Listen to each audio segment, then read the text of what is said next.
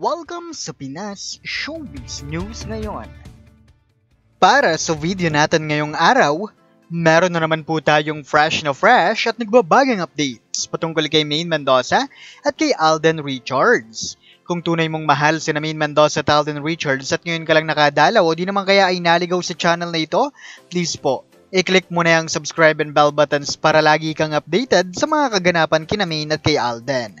Ang pag-uusapan nga po natin ngayong araw ay ang writer na gumawa po ng mga sagot ni Maine Mendoza sa interview ng Cosmopolitan. Take note lang po, there's no actual interview na naganap po between the Cosmopolitan and Maine Mendoza. Okay? Tanging chat lang po ang nangyari. We know naman po kung sino ang nagkokontrol ng mga social media ni Maine Mendoza. 'di ba? Go to the birthday message po no kay Maine Mendoza noong 21st uh, birthday po niya. Malalaman nyo kung sino ang aming tinutukoy na pakailamera ng social media ni Maine Mendoza. Kagabi pa nga lang po, naghihinala na po kami sa Lazada dahil po sa post po nila no na talagang sila po ay gumamit ng uh, mga katagang uh, uh, kalasada. No, y- yun po yung ginamit nila, kalasada. Pero sila po ay may isiningit din po, no? Walang iba kundi ang uh, word na Mainers. Ang dami nagagalit ng mga Aldev fans dahil ang dami na nilang na-check out pero feeling ng Lazada, mga Mainers lang ang kanilang uh, mga customer. Sa puntong yan, may pagdududa na kaming lahat, no? At idagdag mo pa itong uh, nailabas po na sulat ng Cosmopolitan, 'di ba? Kasama na rin po ng asawa nga po ng CEO ng Lazada ay ang kasama po ni Mr. Spotted sa magiging eleksyon. Alam natin ng mga bagay, alam po natin yung mga bagay-bagay na ganyan, ano? Isama na rin po natin ang uh, nakita nating story ni Daddy Bay na talagang uh, kinabahan po ang ibang mga netizens dahil akala po nila, no? Feeling daw nila, may nasunog nga ba talaga sa bahay nila Alden? Yan po ang aalamin nating lahat. Sabi naman po sa inyo, nakatutok po tayo sa bawat galawan nila. Alam po natin yan, ano, at uh, araw-araw po, sagot pa rin po namin ang mga latest na nakag- nakaganapan po kay Namin at kay Alden para po sa inyong lahat.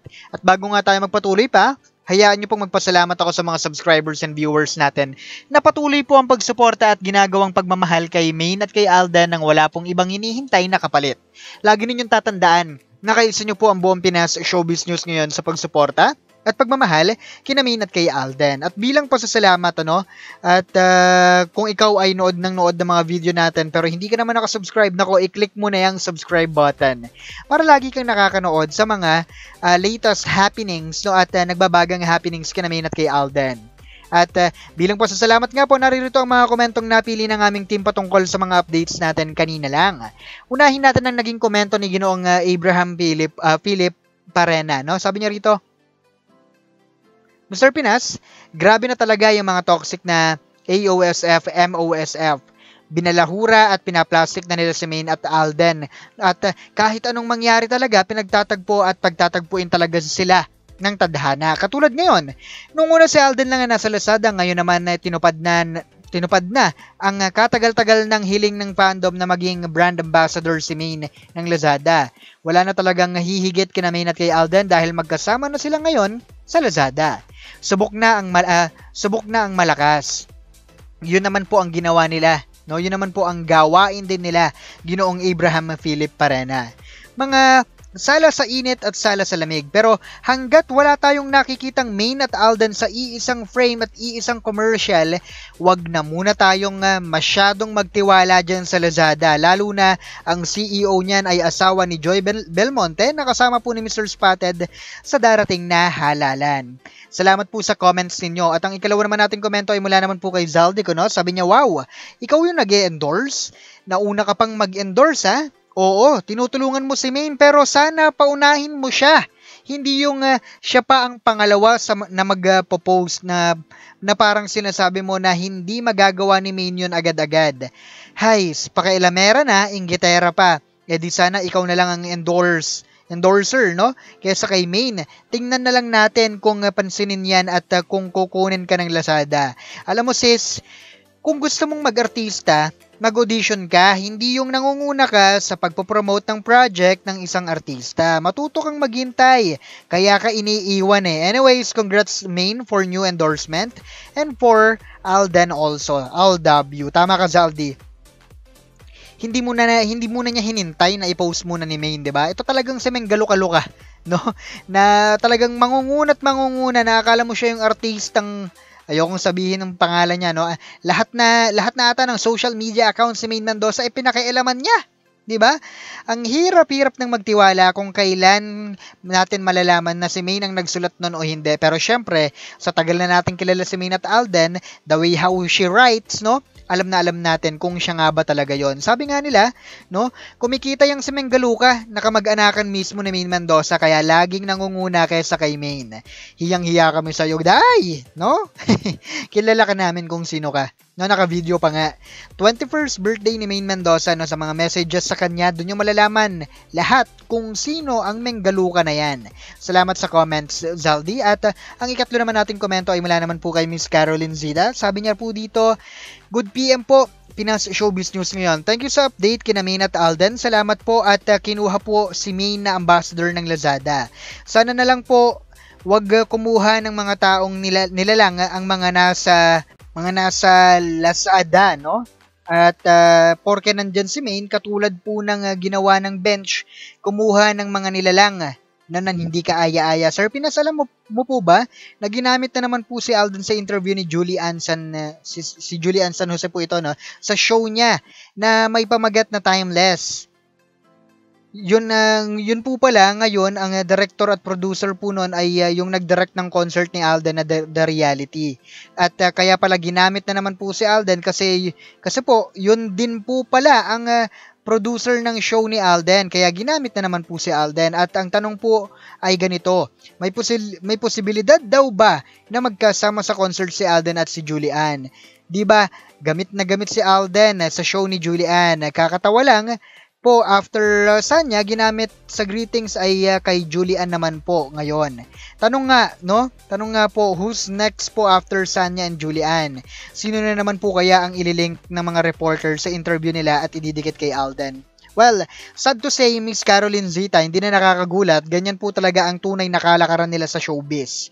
Lagi pong may gamitan na nangyayari para lang po umangat at magkaroon ng ingay ang mga pangalan nila sa pamamagitan ng pangalan ni Maine at Alden. Para sa tanong po ninyo kung sinong susunod na ililink ng media, yan po ang sentro ng ating mga updates. Bago nga tayo magpatuloy pa, no? Bago pa kung saan tayo mapunta, ang dami pong nag-message sa amin Kagabi po yon. Kung ano nangyari kina Alden at Daddy Bay sa Santa Rosa, Laguna, kung saan ba, uh, kung saan po sila ay uh, nasunugan daw dahil sa story ni Daddy Bay. Kami po ay dali-daling pumunta sa account ni Daddy Bay at uh, tiningnan po namin mabuti ang nangyari. Makapal po ang usok sa sa sa, sa mga kwarto no maaari pong nag-back to zero po sila noon sa kanilang mga kwarto para po mamatay ang mga virus. Dahil kung nasusunog nga ang bahay nila Alden, ay pakiramdam ko lang naman po ano, hindi na yun i-story pa ni Daddy Bay at kukunan niya ang kanyang sarili habang uh, may ginagawa doon sa loob ng uh, kwarto. Okay po? Kaya relax lang po. Alden is safe as well as his family. Okay? At dahil nabanggit na rin naman natin ang uh, pakialamera ng social media accounts ni Maine Mendoza, hindi lingid sa ating kaalaman na may pag-amin pong ginawa si Maine Mendoza na years ago pa nung huli siyang magsulat sa kanyang interview sa Riders PH sa kanyang personal blog. 'Di ba? Isang napakalinaw na ebidensya na hindi na po siya ang nagsusulat ng ibang entries niya sa personal blog niya. Ngayong araw kasi, na-validate namin na, na kailangang wag munang magtiwala po ng todo-todo sa Lazada. Gabi pa lang kasi, 'di ba? Kahapon po, may post po ang Lazada at initsipwera po ng tuluyan ang Aldab Nation. Tanging mga miners lang po ang kanilang binanggit. Yan nga siguro ang sagot ng Lazada sa tanong ng maraming netizens na ang CEO ng Lazada ay asawa ni uh, Mayor Joy Belmonte ng QC tapos hindi nila pinansin si Mr. Spotted. Kaya kasi, kaya po kasi sinasabihan nila na initsapwera na raw po, no? Tuluyan ng binasura nitong si uh, Mayor Joy Belmonte si Mr. Spotted at hindi man lang naidikit sa business nila. Kanina kasi may article na lumabas mula po sa Cosmopolitan Magazine, ano? Batay nga po sa sinabi nila, chat lang daw po ang ginawa nila kay Maine para magtanong. 'Di ba? Ulitin ko, take note, nakipag-chat lang sila kay Maine Mendoza. So, nangangahulugan lang na hindi sila sigurado kung sino ang mga writers ni Main Mendoza na sumasagot sa kanila. Dahil naisingit pa nga po nila si Mr. Spotted. Okay? Naisingit po si Mr. si Mr. Spotted at sinasabing nabudol niya si Main Mendoza nang uh, magpabili ito sa kanya no sa Lazada ng uh, uh, VR kung daw nagkakamali ayos 'di ba? Mambubudol naman kasi talaga yung si Mr. Spotted. Noon pa! Ngayon nyo lang nasabi! Sa inyo na galing yan ha, na mambubudol talaga yan si Mr. Spotted. Pero please, wag nyong gamitin si main para lang paingayin ang pangalan ng bakling na yan. Ginamit nyo pa pati Lazada. Ngayon, question, questionable ngayon. Mag, magtitiwala pa ba mga Aldab Nation dyan sa Lazada? No? Wala kayong mauuto rito. May pa-post-post pa kayo ng pictures ni Main Mendoza. Hindi naman latest. Ang haba-haba pa ng buhok ni Main dyan. At uh, gano'n na naman ang nangyari. Nauna na naman na mag-post ng pictures ni Main Mendoza itong si Menggaluka-luka. 'Di ba bago ang social media account mismo ni Main Mendoza, wag niyong paglaruan yung mga netizens. May utak din naman po ang mga netizens, 'di ba? So, ang hirap talaga pagka ang kalaban mo dito ay kamag-anakan ni Main. Muli ito po ang Pinas Showbiz News ngayon.